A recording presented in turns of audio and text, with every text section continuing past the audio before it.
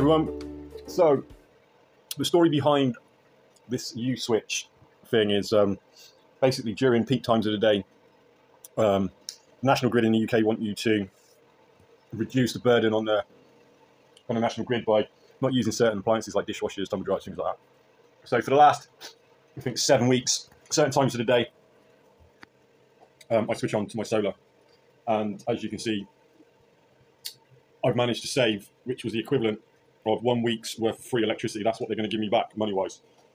Um, so, I mean, considering what the price of the electricity and gas in the UK at the moment, it's, it's disgusting. It really is how much money they're charging for electricity and gas. You know, that's one of the reasons why I started the whole solar project thing, um, so that I could be a little bit more independent in the summer.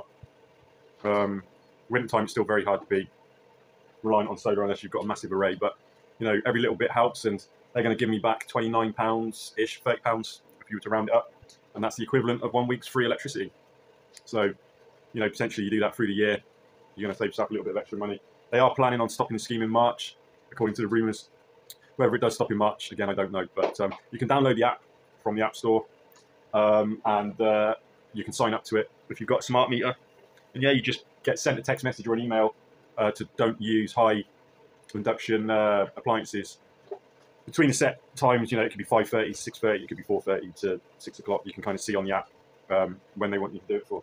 So yeah, you know, download the app and um, start saving a bit of money.